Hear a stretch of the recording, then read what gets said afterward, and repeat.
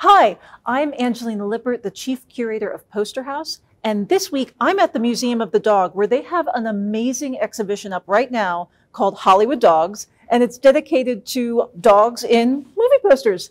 Um, so we're going to start with this one, which is Lad a Dog, which I I actually wasn't very familiar with this poster when I first saw it. But then the curator explained to me the plot line of Lad a Dog, and I really want to see this now.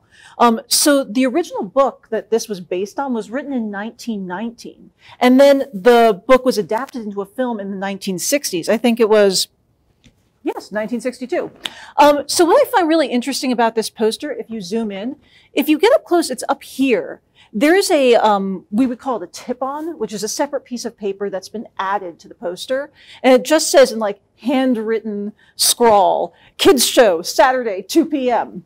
And that just shows the utilitarian nature of posters like this. So if I had a small theater in New Jersey and I was doing an extra screening of this movie, I could just like slap that on without having to mess with the marquee, without having to do anything extra. Just slap it on so people would know that a kids show was happening at two o'clock on Saturday, um, and they'd come down and see this movie.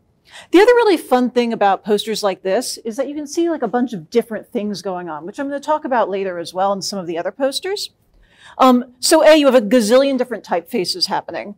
Um, I also love like this section here where, where some of the letters are filled in with polka dots. And then around the lettering are these little vignettes, one of like, I'm assuming the mother and uh, the mother and father, and then of a little girl hugging Lad so sweetly in this very like hand-drawn cartoon style that I think is very adorable. Then also you have a like an extended tagline that I think is like choice copy. Um, the wonderfully honest and honestly wonderful story of every child who ever wanted a dog um, if my mom's watching, I still want a dog. Um, so yeah, that is Lad a Dog, and I think just a tremendous, wonderful way to start this exhibition.